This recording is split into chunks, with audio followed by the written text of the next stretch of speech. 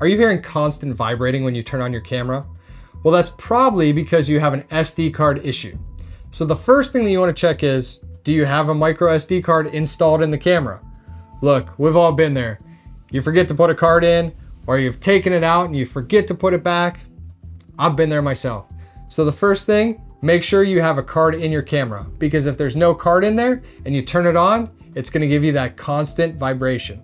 If there is a card in the camera, there's a couple things that could be going on. One, your SD card could be full.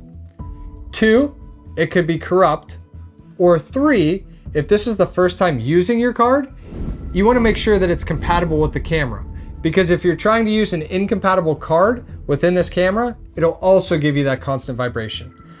We recommend using a class 10 U3 micro SD card, so make sure that you're using a card to that standard in your camera. This could also be happening because your SD card is full. Before you reformat, you wanna make sure that you retrieve all the videos off that card that you wanna save. The next thing that you wanna do, if you're having that constant vibration, is try reformatting your SD card. How do you do that? Well, simply go in your Tactacam Connect app link up to the camera that you're using, and go and reformat the card through the app. If that doesn't work, you want to go ahead and try a different SD card. If that still doesn't solve the problem, you want to go ahead and contact customer support.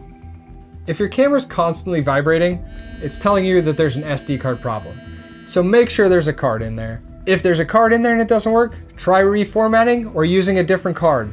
Troubleshooting those couple things will help you get back out to the field faster.